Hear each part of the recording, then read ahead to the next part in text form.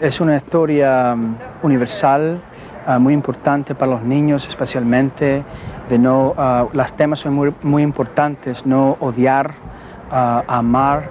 Un Romeo Pachuco o Sudsurer, sí, el México-americano de la época, y una Julieta oriental vencen las barreras del odio entre dos familias enemigas y de ahí nace la moraleja universal. Así que tratamos de hacer dos cosas a la vez. Informarlos, educarlos e interesarlos en nuestra historia a través de la historia y la literatura clásica. Y es precisamente en este foro de Hollywood donde concluye la serie de presentaciones de esta singular puesta en escena, Romeo y Julieta, obra de amor y odio que será llevada a las escuelas públicas de Los Ángeles a partir de septiembre.